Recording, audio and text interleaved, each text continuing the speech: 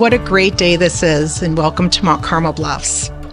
The sound of the cast iron bronze bell that I hoped some of you heard was purchased by the BVM sisters in 1856.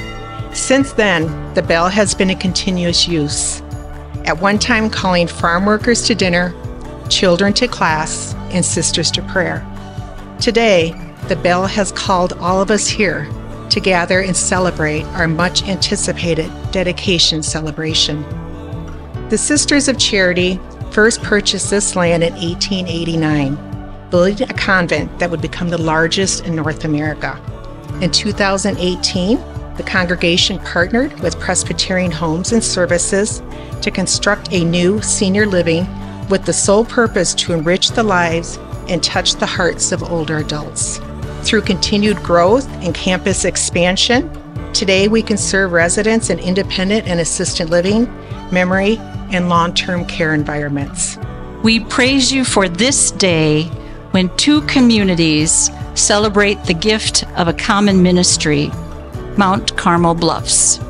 Founded by Mary Frances Clarke in 1833 in Philadelphia, the Sisters of Charity of the Blessed Virgin Mary has served Dubuque since 1843. As we find ourselves aging past our active years, we desire to live out our years together here at Mount Carmel, noting that others often visit this spot to view the river, have wedding photos taken, and admire the natural beauty of the land and creatures. We asked, might there be a way to welcome others to live here too? To do that, we needed assistance. After much study and many conversations, a partnership with Presbyterian Homes and Services was established.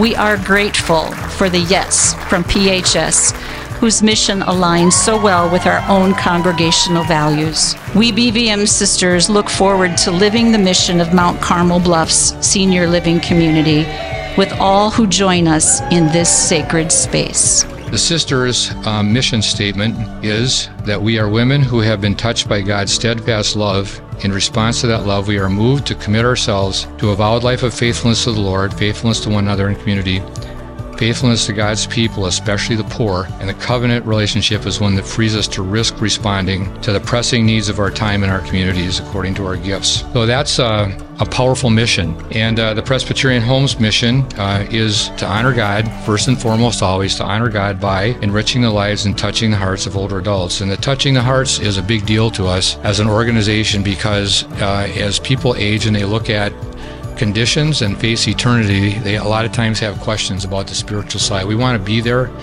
to embrace conversations about those. and I know the sisters do too. And so in all of those areas, we found really great congruence. So at Mount Carmel Bluffs, we look forward to future gatherings in this great space.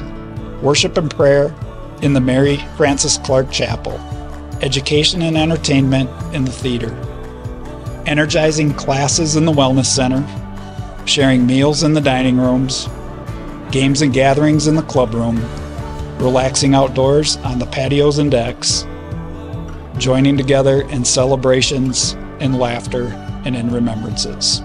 It's no longer a concept, a deal, a project, a development, or a building. It's now this incredible community.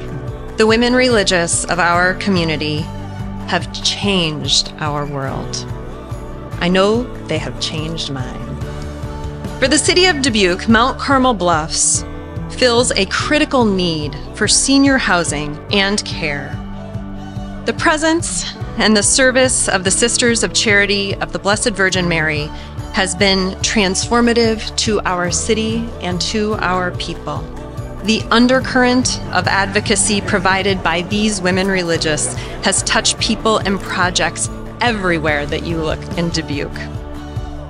We are so blessed that Presbyterian Homes and Services has joined our community in this important way this space and this legacy that will provide community and care for not only our women religious and a critical care need for citizens for our city for decades to come.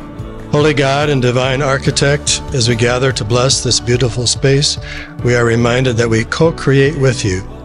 Each brick is your strength in us, each window your light that shines through us. We give thanks for all the hands and hearts, the gifts and skills which built this place.